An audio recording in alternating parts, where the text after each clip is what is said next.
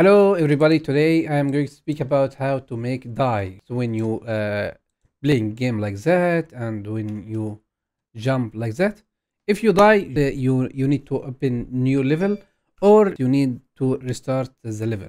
Blueprint, we need to create blueprint, animation, blueprint here, and you choose blueprint class here and actor like that. Okay.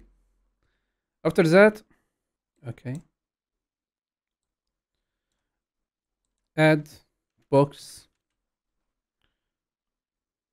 box collision. Now yes okay. And from this side you need one component begin overlap just need to and you need to say open level by name. If you know the name of this level, just you can click here and write your level. If you don't know the name of this level, just you need to come here and click level, level, open level by object reference, and you need to, for example, the the this level is level one, or you can choose another level. Okay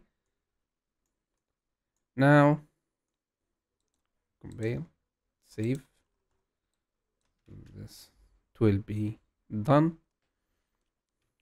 Wait here. This one here. Okay.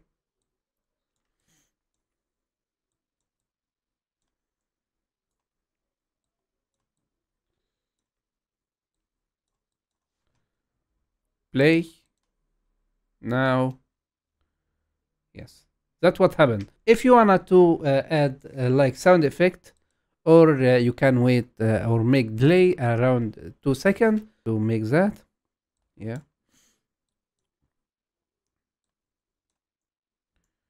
Before you just you need to make delay. Delay. For example half second. Okay and you need to make play sound play sound 2d uh, you need to search on youtube or you make uh, the sound with your voice or something like that.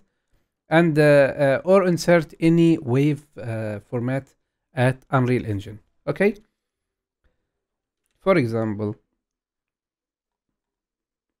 okay that this one compile save and we will select it. Ah, yes, yes. Now, new blueprint. Just we need come here, play sound. After that, delay. Half second. And open level. Okay. Compile, save. Now okay now it worked good.